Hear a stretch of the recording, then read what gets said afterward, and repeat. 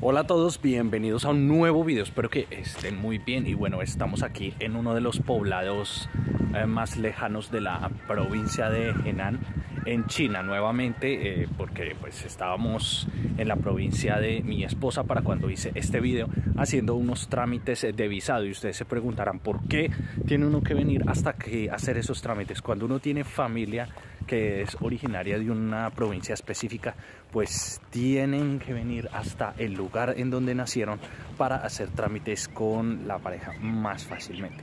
Pero bueno, esa no es la noticia de hoy. Hoy les quiero hablar de la denominada variante GPX2B, que es, ya saben, de la enfermedad 19. Así que amigos, ¿cuál ha sido el escándalo con este ensayo que se hizo con la variante GXP2B? Resulta que en un sitio web que publica todo este tipo de estudios que se realizan a nivel de biología o por ejemplo microbiología, eh, se eh, reveló que un grupo de científicos chinos estaban inoculando estas variantes en ratones. Y por decirlo así todos los ratones en donde se ensayado esto pues se fueron al otro mundo por decirlo así. Y esto afectó a todos los animales. No quedó ni uno eh, pero la afectación esta vez fue en todos los órganos que ha generado un enorme escándalo. Se supone que salió en Wikipedia desde el año 2017 es decir esto lleva bastante tiempo eh, existiendo. Se supone que es una mutación de esa variante que sería incluso un 100% letal. Definitivamente eso dejaría pensando a muchos de si se trata de algún tipo de ensayo para algo que se va a hacer a futuro a nivel mundial. Bueno, la perspectiva aquí es que eh, de momento la gente, por ejemplo, en especial en estos pueblos pequeños, en estos pueblos más humildes de China, eh, no tiene una información a gran escala sobre este asunto. Lo que sí de pronto se ve es que hay personas que tienen temor cuando hay rebrotes. Y por ejemplo cuando vinimos a este pueblo eh, con mi esposa y yo, ella presentó una leve gripa y muchas eh, personas que ella iba a visitar pues dijeron no pues mejor conservemos una distancia segura pues digamos por ese a veces temor de que vuelva a pasar lo que sucedió en el 2020 que siempre ahora si ustedes lo notan se está hablando en las noticias de que uy puede surgir una nueva variante uy puede que vuelva a suceder lo mismo que el 2020 y desde hace prácticamente cuatro años desde varios medios informativos de todos los países del mundo se está dando siempre esa ola de informaciones. Quizás esa forma de miedo sea una forma de controlar que no sea tan directa. Así que amigos, pues valga la redundancia, nuevamente hago el disclaimer, esto no es ningún tipo de propaganda comunista ni mucho menos. Así que vamos al lado, entre comillas, más conspiranoico del asunto. Bloque Rusia y China. ¿Será que ellos tienen una nueva forma de gobierno o de hegemonía a nivel mundial? Eh, pues no les gustan ciertas agendas de Occidente.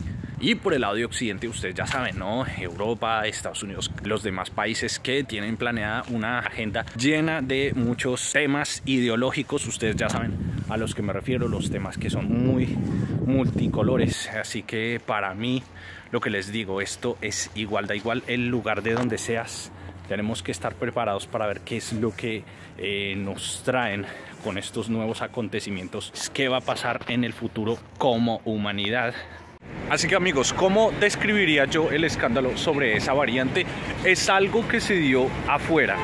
Eh, este tema de los ratones eh, con los que se hizo el experimento eh, es algo que ha generado más que todo reacciones a nivel de científicos internacionalmente. No es algo que se hable aquí de manera tan profunda pues con el resto de las personas. No, no se quiere promover como una especie de temor colectivo o por lo menos eso es lo que he visto a diferencia de lo que se está dando en Occidente, ¿no? Pero a ver amigos, tengan en cuenta que no es que yo esté eh, haciendo propaganda china, ni mucho menos. Como ustedes saben, hay cosas aquí que, pues obviamente, como en cualquier país, yo no estoy de acuerdo, pero pues resulta curioso. Ahora, en los pequeños poblados, la vida, digamos, cotidiana sigue normal. Y pues les muestro algunas imágenes del condado humilde en el cual yo estoy.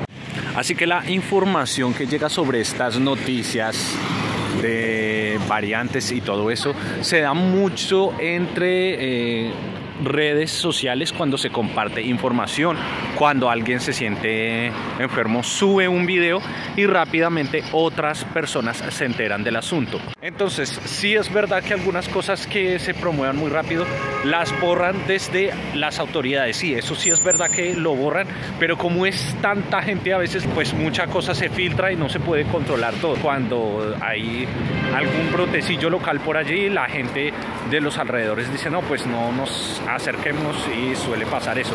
Hay otros que, pues al igual que los que piensan alternativamente, dicen, no, eh, nada de esto es real, así que sigamos con nuestras vidas a nivel normal. Así que en estos pequeños pueblos, mi esposa me comenta que ha habido unos cambios muy importantes también a nivel económico. Por ejemplo, el uso de la moneda digital con el WeChat. Cuando vinimos a hacer aquí la documentación, mi esposa había preparado el efectivo porque ella dijo, aquí no hay transferencias de ese tipo, pero ella se sorprendió al llegar acá y ver por todos los lados los llamados códigos de WeChat con los que se paga eh, como si fueran en las grandes ciudades. Así que realmente esto está cambiando y aquí pues se está reflejando un nuevo sistema. Y como les digo amigos, estamos hablando de un pueblo muy remoto y muy recóndito en China. Y otra cosa que me ha sorprendido es que he visto mucha gente joven por aquí. A mí eh, lo que me decían en estos videos de YouTube de otros canales es que no, la mayoría de quienes habitan estos lugares es población envejecida. Pues les cuento, ha habido un reciente cambio también en la población china. Eh, muchos jóvenes estaban enfrentando eh, presiones bastante altas en las ciudades y ahora me sorprende ver una gran cantidad de jóvenes en los poblados más pequeños.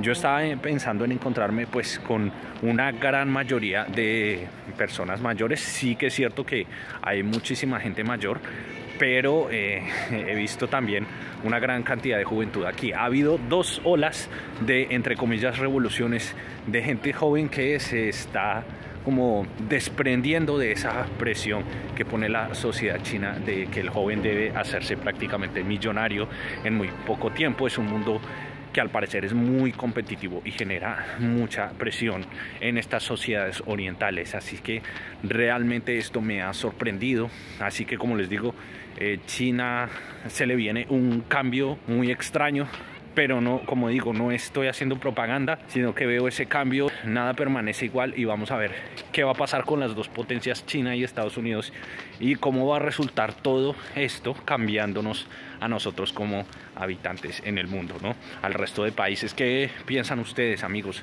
¿Creen que esto es algo que sí se va a dar más adelante, estas nuevas variantes? ¿O creen que son olas de campañas alrededor del mundo de todos los países para tenernos así con, con temor. Bueno, los estaré viendo allí en los comentarios. Estoy viajando por lugares de Asia bastante interesantes. Nos vemos en un próximo video. Recuerden estar conectados, suscribirse y compartan para más videos como este. Y chao, chao.